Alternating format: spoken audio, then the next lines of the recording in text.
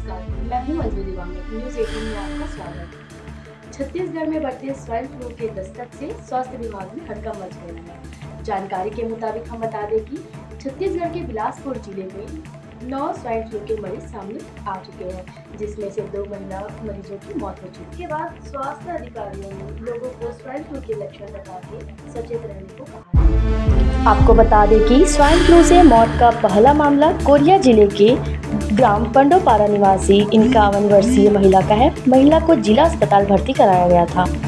जाँच में swine flu की पुष्टि हुई। 4 अगस्त को रेफर कर बिलासपुर अपोलो अस्पताल में भर्ती कराया गया। महिला की स्थिति लगातार खराब होती गई। उनको सांस लेने में दिक्कत ही हो रही थी। वेंटिलेटर पर भी रखा गया, लेकिन शुक्रवार को मौत हो गई। जिलों में लगातार जन चौपाल आयोजित कर लोगों को विभिन्न मौसमी बीमारियों से बचाव के उपाय बताए जा रहे हैं। स्वाइन फ्लू के लक्षणों और आम सर्दी जुकाम से फ़र्क के बारे में बताया जा रहा है। धन्यवाद।